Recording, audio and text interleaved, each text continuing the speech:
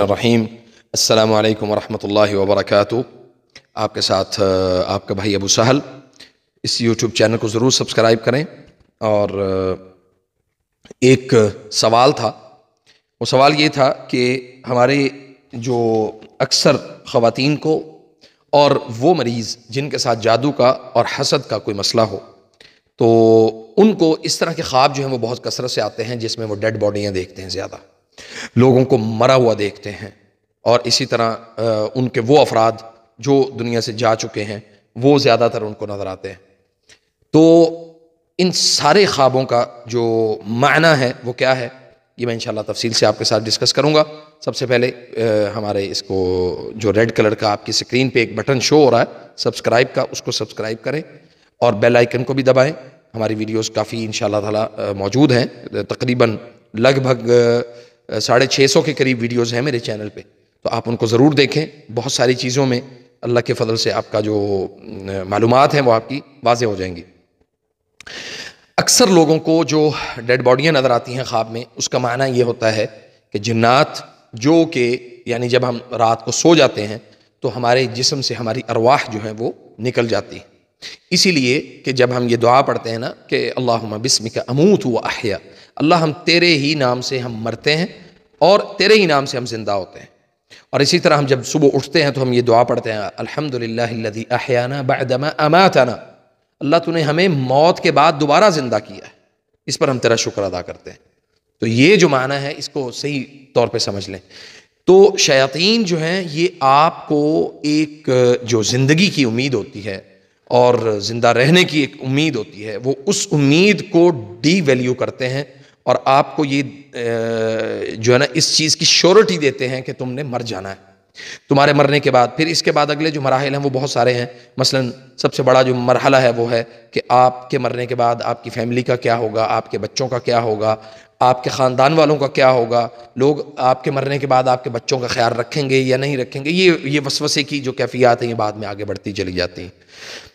अब इसमें एक बड़ी नुक्ते की बात है कि ख़ास तौर पे वो अफराद जिनके ऊपर जादू हो और जादू भी इंतकाम का, मौत का और इसी तरह हादसे का और इसी तरह एक कोई ऐसी कैफियत जिसमें इंसान के माजूर या इंसान के मोहताज होने की अलामत जो है ना वो ज़्यादा पाई जाएँ। ये चीज़ें दिखाने का असल मकसद होता है शयातीन का और ये मजमू तौर पर ये जो ख्वाब हैं, मौत के मुतल जो ख्वाब और इसी तरह वो अफराद जो आपके फौत हो चुके हैं, उनके मतलब वो ख्वाब देखना। तो ये सारी की सारी अलामत जो हैं, ये जन्नात और शयातीन की तरफ़ से ख्वाब होते हैं। ये शैतानी ख्वाब हैं, ये रहमानी ख्वाब नहीं है। और जब आप ये कैफियत देखें तो आप समझ लें कि मस शैतान का बहुत ज़्यादा, यानी उससे आप बहुत ज़्यादा मुतासर हैं। और मस जो है ना, वो शैतान के टच करने को कहते हैं कि शैतान इंसानी जिसम को टच करता है और उसके अंदर वो समा जाता है। उसके अंदर वो अपने, यानी उस जिसम के अंदर अपने आप को वो रोकता है। और फिर वो रोकता है और फिर इसी तरह उसकी कैफियत वो, हर एक इंसान की दूसरे से मुख्तलिफ़ करता है।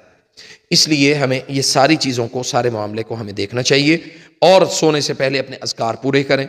इसी तरह रात सोने से पहले जैसे कि नबी सल्लल्लाहु अलैहि वसल्लम की सुन्नत है कि सूरत मुल्क पढ़ना और इसी तरह अपने जो दोनों हाथ को, दोनों हाथों को जमा करना, यजमा कफ़ई दोनों हथेलियों को जमा करना, उसमें सूरतुल्फ़ातिहा तीन मरतबा आयतुलकुरसी तीन मरतबा सूरतुल्बकरा की आखिरी दो आयात तीन मरतबा और आखिरी चारों कुल तीन मरतबा, ये अपने ऊपर दम ज़रूर करें। और पहले तीन मरतबा उसमें थूकना है दोनों हथेलियों में, उसके बाद पूरे जिसम के ऊपर उसको मस करें, यानी पढ़ने के बाद। तो इस, इससे एक तो ये भी साबित होता है कि पढ़ाई के बाद फूंकना जायज़ है।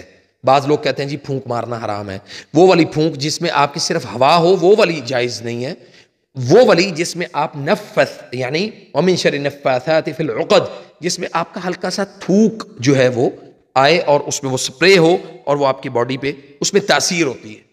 जैसा कि नबी सल्लल्लाहु अलैहि वसल्लम ने दुआ पढ़ के हज़रत अबू बकर रज़ी अल्लाह तु को एक यानी दम किया था और दम इस तरह से किया था कि जिसमें लुआब निकाल के नबी सल्लल्लाहु अलैहि वसल्लम ने हज़रत अबू बकर को लगाया था। जब ये किसी बिच्छू वगैरह ने या किसी जानवर ने उनको काटा था। तो इसलिए इससे साबित है कि नबी सल्लल्लाहु अलैहि वसल्लम ने यह अमल किया है और अक्सर लोग ये कहते हैं कि जी क्या फूंक मार के खाना पीना जायज़ है? फूंक जो है वो जायज़ नहीं है। उसमें कराहत होती है, लेकिन वो चीज़ जिस पर आपने अल्लाह का नाम लिया हो, बिस्मिल्लाह, और उसके बाद आप जैसे पानी पीते हैं तो हम पानी पीने से, पानी पीने से पहले हम अल्लाह का नाम लेते हैं।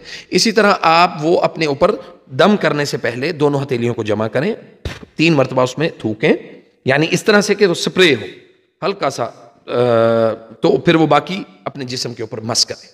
अल्लाह की तौफीक से जब आप ये आयतुल कुर्सी सूरतुल्फ़ातिहा सोने से पहले के अजकार मुकम्मल करके सोएँगे तो ये शयातीन के, की तरफ़ से आने वाले ख्वाब जो हैं, ये ब्लॉक हो जाएँगे इन वो रुक जाएँगे।